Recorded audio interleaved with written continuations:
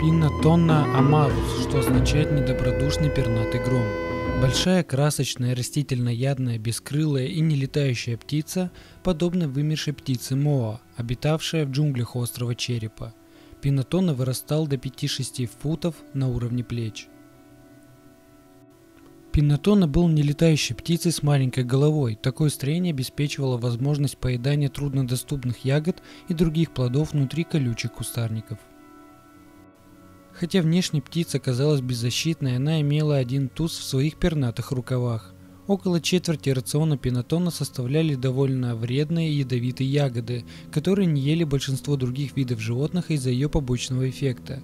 Попадая в желудочный сок, ягода выпускала пары, из-за которых в организме начинала подниматься температура, и животное буквально жарилось в собственном соку. Но у пинатона имелся иммунитет к парам, выделяемых ягодой, и ненасытная птица с жадностью их поедала.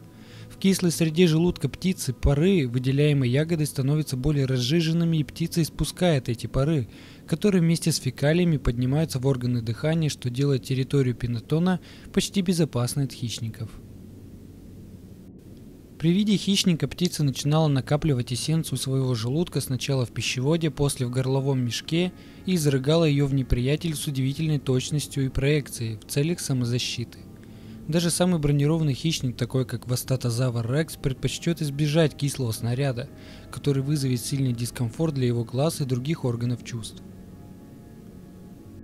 Пинатона достигал в росте от 152 до 183 см на уровне плеч и от 3 до 3,5 метров полный рост.